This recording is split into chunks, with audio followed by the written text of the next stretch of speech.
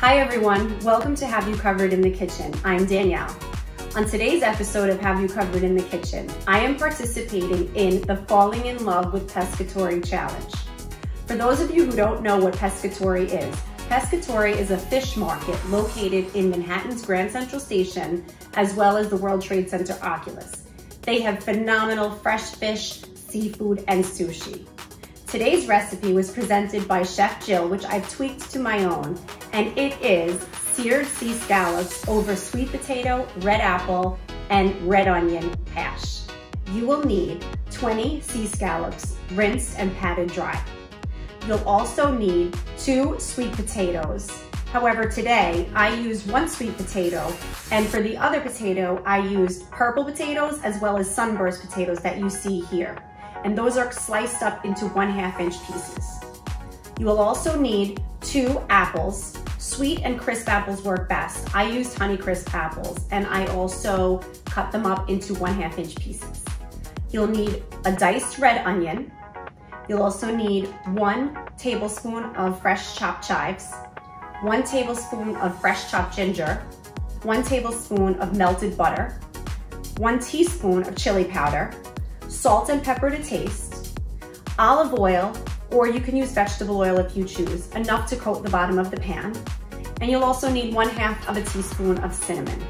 So what you'll wanna do is grab a medium to heavy skillet over a medium flame, and you'll heat the oil till it's hot but not smoking. And then you'll put the potatoes in as well as the ginger.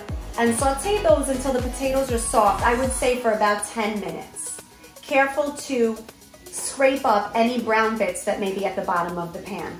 So you'll saute until the potatoes are tender and golden brown for about 10 minutes.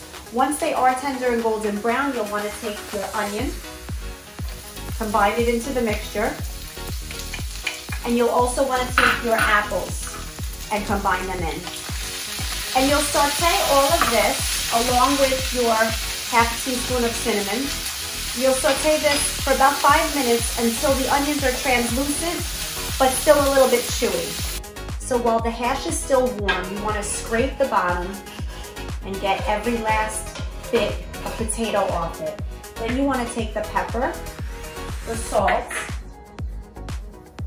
and the chives and mix it all together. This is pretty much ready to serve. And now we're going to get to the scallops.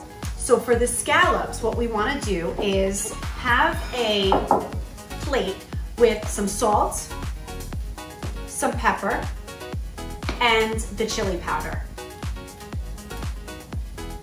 And what we will do is we'll take each individual scallop and we'll just coat them in the mixture.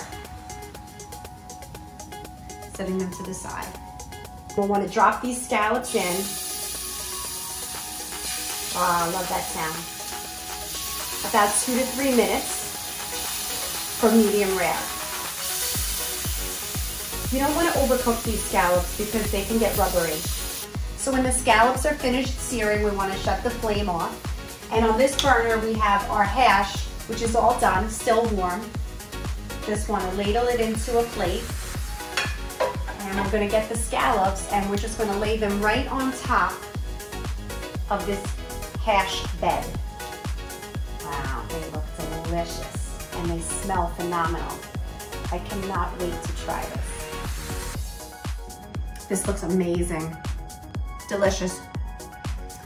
So delicious. The flavors just come together. The apple, the potato. Such a great hearty fall dish.